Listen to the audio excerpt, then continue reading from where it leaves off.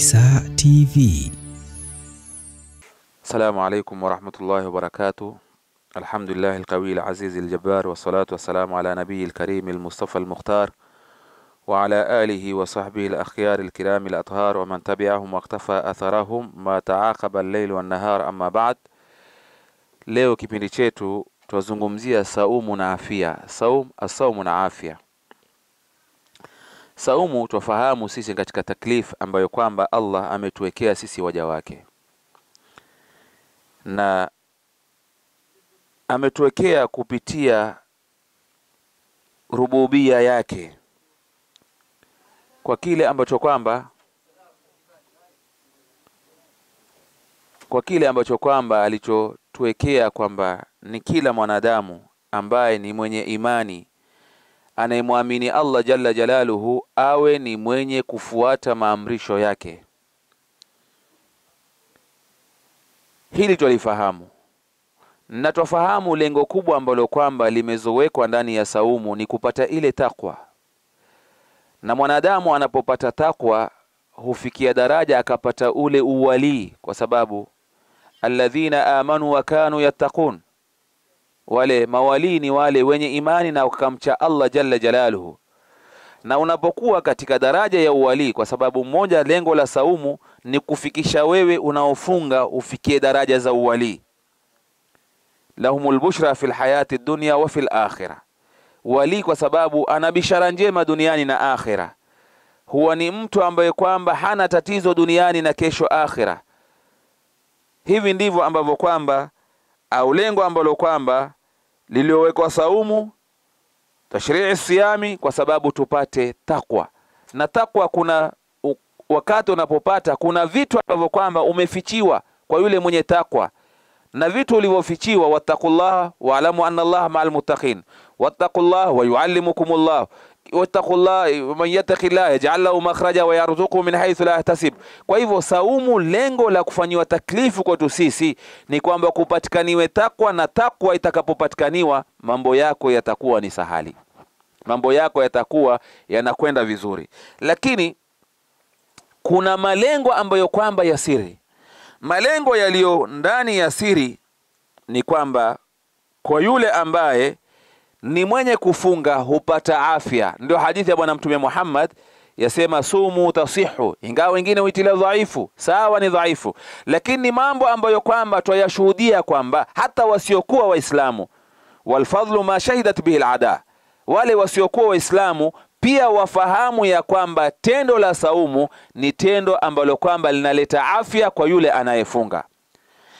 Miongoni mwa ambazo zimezopita baada ya kushari'i kufaradhiwa saumu, utapata wao wamekaa wakachungilia faida ya saumu, wakapata ndani pana faida ambayo kwamba saumu huua vile viini vya sumu vinavyopatikaniwa na vyakula, viini vya sumu vinavyopatikaniwa na dawa, zile khalaya ambazo kwamba zapatikaniwa katika mwili wa mwanadamu.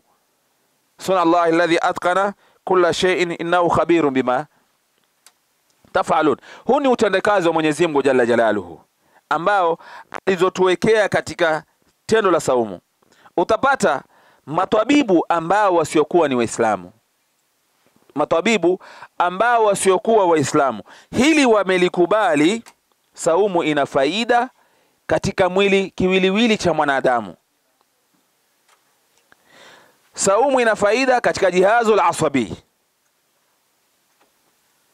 Saumu ina faida katika kidni za mwanadamu wakati anapofunga. Mmoja katika wanazuoni wa Kifrench asema kuelezea tiba ya saumu asema inna siyama shahrin wahid. Fi sana yudhhibu bilfadalati almayitati fi lbad muddata sana, kwamba kufunga mwezi mmoja katika mwaka ile saumu huondosha alfadhalat almayitata, vile vichembechembe ambavyo kwamba vilivyokufa ndani ya mwanadamu, mwili wa mwanadamu kwa muda wa mwaka mzima. Bimaana ukifunga mwezi mmoja, mwaka mzima ile saumu ambayo kwamba ulioifunga huua vile viini ambavyo kwamba vilivyokufa katika mwili wa mwanadamu. Bali kuna ashharul muallifin, mabingwa wa wenye uchungo walitunga kitabu ambacho kwamba cha fawaidu siyam, mmoja akiwa ni macfaden macfaden ni zaimu thiqafati albadaniya fi Amerika au fi lwilayati almutahida, ni mmoja mutakhasis ambaye wa matibabu ya kiwiliwili cha mwanadamu, yuko ndani ya Amerika. Alijenga hospital akaita kwa jina lake McFadden. Bwana huyu alichunga kitabu cha saum, alafa kitaba siyam. Ndani yake akaandika nataija ambazo kwamba zimezodhihiri kwake yeye baada ya kuchunguza tendo la saumu. Akasema inna sauma nafiun liljismi, kwamba saumu ina manufaa kwa kiwiliwili cha mwanadamu. Yusafihi min rawasibiha Saumu husafisha kiwiliwili cha mwanadamu kwa zile khalaya ambazo kwamba au viini ambavyo kwamba vilivyofeli ndani ya mwili wa mwanadamu,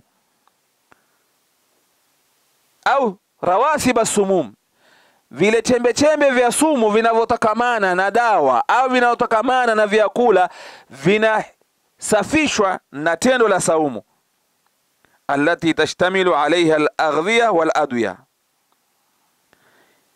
Kisha akasema maradhi ambayo kwamba yanaotibiwa na saumu ni mengi sana, kwa sababu yeye mwenyewe asema alajtu bisiyami akthara akthar al-amradh akthar al-amradh alajtu au alaja bisiyami akthar al-amradh, ametibu kupitia saumu madha, ma, ma, magonjwa mengi sana magonjwa mengi sana. Asema watu ambao kwamba nilioweza kuwatibu. Kwa saumu, tena akataja majina yao na maradhi yao na tarikhi ya kuwatibu kwake. Ndani ya kitabu ambacho kwamba kinachozungumzia asiyam lilmuallif Mark Foden, kuonyesha ya kwamba maneno ya Mtume Muhammad japokuwa twachukulia ni dhaifu, sumu tasihu, lakini wale ambao kwamba wasiokuwa Waislamu walipopata maneno kama haya wakayafanyia kazi na wakagundua kweli saumu ina afya. Suna Allahi alladhi atkana kulla shay'in innahu khabirun bima tafalun, ni utendakazi wa Mwenyezi Mungu jalla jalaluhu, ni utendakazi wa Mwenyezi Mungu. Bali wasema asaumu mufidun dhakti ashiriani wa fitihabi lhadi, saumu ni tiba kwa presha, saumu ni tiba kwa mapafu, saumu ni tiba kwa kila jambo ambalo, walhasawati lbaulia, vijiwe ambavyo kwamba vinaotoka katika mkojo. Kuna magonjwa ambayo kwamba watu hutokwa na vijiwe wakati wanapokojoa, asema mwana mwana e, tabibu huyu ya kwamba saumu ndiyo tiba ya vile vijiwe ambavyo kwamba vinavyosumbua watu. Wa amradhi lkabidi, saumu ni tiba ya maradhi ya maini. Wa huwaisalati safraa min atihabati wa hasawat. Kwa ufupi ameeleza mengi ambayo kwamba yanaofungamana na tiba inayopatikaniwa ndani ya saumu, tiba inayopatikaniwa ndani ya saumu. Na yote maashara sada, Mwenyezi Mungu jalla jalaluhu, kwanza anapokuamrisha jambo huwa lina manufaa kwako wewe, wala aksu anapokukataza jambo huwa lina madhara kwako wewe. Mfano hapa ameamrisha watu kutiba alaikum siyam kama kutiba ala alladhina min qablikum la'allakum tattaqun, ni kwamba saumu ina manfaa na manfaa yenyewe wamegundua waliogundua wasiokuwa Waislamu, wamegundua waliogundua wasiokuwa Waislamu. Mpaka ugonjwa wa kansa saumu inatibu, na ndio Allah jalla jalaluhu katika maneno yake kutuonyesha ule utendakazi wake akasema, sanurihim ayatina fil afaqi wa fi anfusihim hatta yatabayana lahum annahu lhaq awalam yakfi rabbika annahu ala kulli shay'in shadir. Ala kulli shay'in shahid. Mwenyezi Mungu jalla jalaluhu ameeleza toka zamani, tutawaonyesha wale wasioamini uongo wake, tutawaonyesha wale wasioamini utume wa Bwana Mtume Muhammad sallallahu alaihi wasallam, fil afaq, katika ulimwengu, wa fi anfusihim, na katika nafsi zao. Anaonyesha Allah ya kwamba nafsi zenu tiba yake inatoka katika amrisho ambalo kwamba ya taklifu ilahia aliyoamrisha waja wake, ya ayuha ladhina amanu kutiba alaikum siyam kama kutiba ala ladhina min qablikum, wacha kwamba saumu ni tiba kwa wale ambao kwamba ni Waislamu wasiojua maskini, kwa sababu moja katika tiba inayoletwa na saumu ni kwamba yule anajiona ya kwamba yeye ni mwenye kushiba. Mwezi huu unapoingia, yuwafunga yuwahisi ugonjwa na matatizo na yale mazito yanamfikia fukara. Ndio ukaona kwamba mwezi wa Ramadhani na wao wana imani, kwa sababu ile kazi ambayo kwamba anayoipata fukara, kazi ambayo kwamba anayopata maskini, na yeye pia huisikiza, hufunga kuanzia asubuhi mpaka jioni. Maskini akawa siku zote hapati kula, yuhangaika na njaa, na ye, kumbe njaa athari yake ndiyo hini.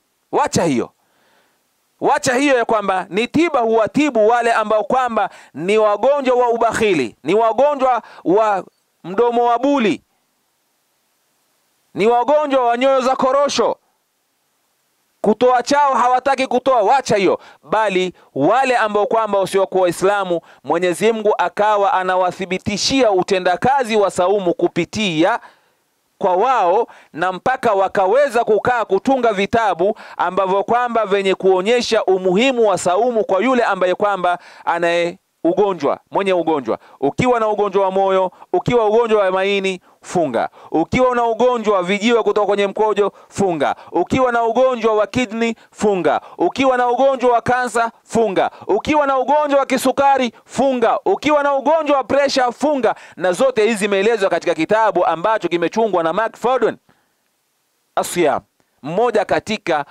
wabobezi waliohusika atakhasus kwa kiwiliwili cha mwanadamu, kukichunguza kiwili cha mwanadamu. Kwa hivyo, ikhwatal maji, saumu ni dawa, saumu ni afya, na naam, saumu ni afya. Wewe mwenyewe uliyefunga, ukifunga kwa ikhlasi na kilillahi, na kwamba wapenda hili jambo ambalo kwamba la kufunga umeamrishwa na Allah, ikiwa ni saumu ya faradhi na ikiwa ni saumu ya sunna, wahisi mwenyewe kwamba una ingiza afya kwenye mwili wako, unaingiza afya kwenye mwili wako. Iftirab yaondoka, hasira ambazo kwamba zinaletwa na Iblisi huondoka. Ndio utapata mtu akifunga huwa hatukani, mtu akifunga huwa hatukani kwa sababu damu zimetulia. Iblisi hana mapitio, kwa sababu Iblis hupita katika mishipa ya damu kama vile damu inavyopita na damu inavyopita kwa nguvu ni wakati wewe unakula. Unapokula ndio damu inavyotembea kwa nguvu, na inapokula damu ikitembea kwa nguvu, na Iblisi ndivyo anavyopita kwa nguvu. Ndio utapata wakati ule unakula hasira ziko juu juu, lakini unapofunga kwamba ni tiba, tiba yenyewe mpaka kwa Iblisi pia. Ndio utapata anayefunga kwamba inni swaim, na Mtume akatufundisha swa, unapofunga sema inni swaim, cool down, tulia Unapofunga usiseme maneno machafu, ni tiba ya kukataza wewe pia kusema machafu. Ukitukanwa, ukipigwa, inni swaimu.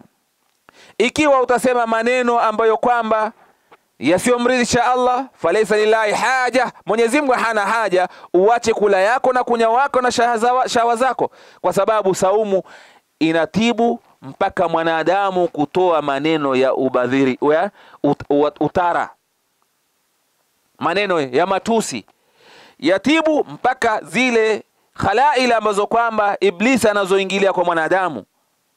Huwa yule aliyefunga amezifunga zile njia, ndio utapata hata kitukanwa, inni swaim, inni swaim. Ukitaka kupigwa inni swaim, lakini si kwamba upigwe utulie wakati unapopigwa mtu ameinua mkono waweza kujihami, kwa sababu kuna kitalu dafi na eh, kitalu talabi. Kuna mtu akaja akakupiga.